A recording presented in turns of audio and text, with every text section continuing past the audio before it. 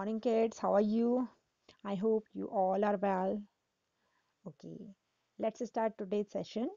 And uh, last time I was talking about separating insoluble solids from their solution, and today we will talk about the separating soluble solids from their solution. Now, soluble solids, soluble solids means which can be dissolved in the uh, liquid or water. As I told you the example earlier also sugar and the next next maybe the uh, salt etc okay then for that we uh, will use a method of evaporation. For that we will use the method evaporation. Now the process of conversion of the water into the vapor is called evaporation right? Okay now uh, one example is given to you. Uh, this is the scene of uh, uh, sea coastal areas where the salt is extracted from the sea water है ना जहाँ salt बनाया जाता है कहाँ किससे sea water से now beds are formed uh, near uh, the sea now it is clear in this picture now you can see the beds the sea water is filled in it and then uh, it is left to evaporate. The water is left to evaporate, leaving the salt behind it. Water सारा evaporate हो गया और बाकी क्या बचा नीचे salt. In the starting, the salt was soluble in the water and कहीं visible नहीं था. Salt, water salty था. Now you can see when the water evaporates and leaving behind the salt and we can collect that salt. This is an example of evaporation. And naturally, evaporation is taking place and salt is separated from the sea water. Okay now see in this uh, I can explain you it with the help of this diagram. Or we can say it is a method used to recover a dissolved solid component from the solution. This method utilizes the difference in the boiling point of different component of the mixture. In this process the solution is heated. The solution is heated in this uh, picture you can see हमने एक छोटी सी kettle ली है and uh, this kettle have one of the only one opening through this opening we can collect all the vapors and uh, in this uh, you can see this lid contain इसके ऊपर हमने थोड़ी सी ice रखी हुई है so that it act as a condenser condenser and the vapor will condense and convert into water and collect in the this beaker है ना then this process is the process of evaporation and condensation. This is the evaporation hai na? converting liquid into the vapor. And then vapor again con converting into the liquid this is called condensation. In um, this uh, through this process suppose we are taking the salty water or we can taking the sweet water sugar dissolve in it then hoga kya? Water will convert into the vapor and then it will condensed. And we can get the clear uh, we can say pure liquid in this beaker and sugar or salt. Whatever you are taking that will be left behind in this kettle. Then this is a process of separating uh, soluble solids from their solution. Right? Okay now see the next. Next process is distillation. This is called distillation. This is for uh, separating soluble liquids from their solution. Soluble liquids from their solution. Now in this method, uh, uh, the pure liquid is obtained from their solution.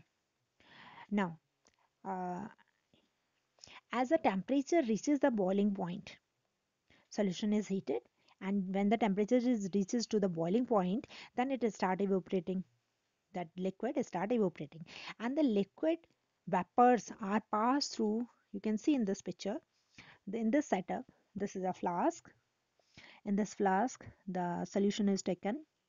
This is the solution and uh, burner is uh, setup is uh, already ready. Then we will uh, heat the water. Then when the uh, temperature will reach to the boiling point then this water will convert into the vapor and this is a condenser uh, this structure is a condenser cold cooling water देखो यहाँ से cooling water जो है इसमें लगातार पास हो रहा है so that ये जो vapors हैं when they will pass through it then the they will cool down and will convert into the liquid right as the vapor cools they condense to form the pure liquid. The pure liquid so obtained is called distillate. This is called distillate. Distilled water is also obtained by this method. Then this was the method which is called distillation. Right? Okay. Now next is next topic is solution and its solubility now there are some terms which i am going to tell you the term the first term is solute then solvent solution and solubility now see one by one solute is a substance which we are going to dissolve this is solid right solvent जिसमें हम इसे dissolve करने जा रहे हैं that is called solvent that is water it means suppose this is the water then this water is called solvent. And suppose we are adding sugar in it then sugar is called solute. Solute. Solute right? And when we mix these two then the preparation is called solution right? Now see solute the substance which is dissolved in the uh, solvent to form solution. And what is solvent?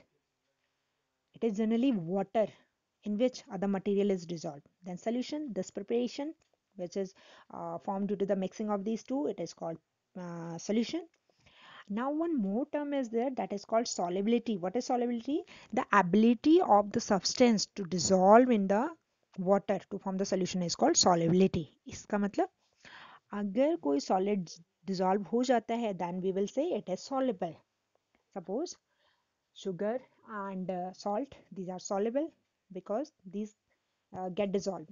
And uh, those which are not uh, dissolved in the water they are called un, uh, insoluble. They are called insoluble material right? Then the ability of the substance to dissolve in water to form the solution is called their solubility right? Okay. Then can water dissolve any amount of substance in it?